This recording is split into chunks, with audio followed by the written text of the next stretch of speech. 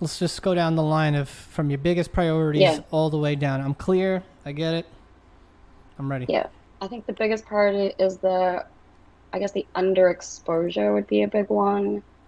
anything related to color, I would say get a colorist, right? That's going to be my, my first piece of advice.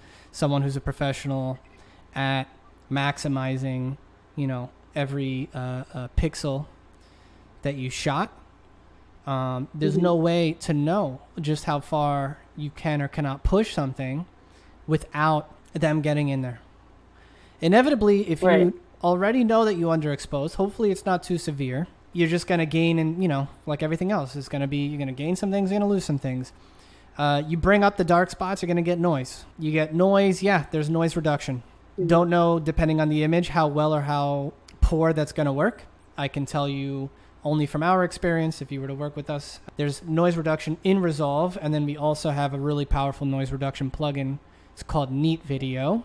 Now, the downside of using the noise reduction obviously it depends how bad it is. If it's not that bad, you won't tell at all. If it's really, really bad, it does an amazing job, but then you have to nuance it because you lose some sharpness. You get a little bit of this plasticky looking thing, and then you guys will ultimately have to make mm. the call. It's definitely better depending on how noisy it is, of course. Or you lean into the noise, and that's a part of the look.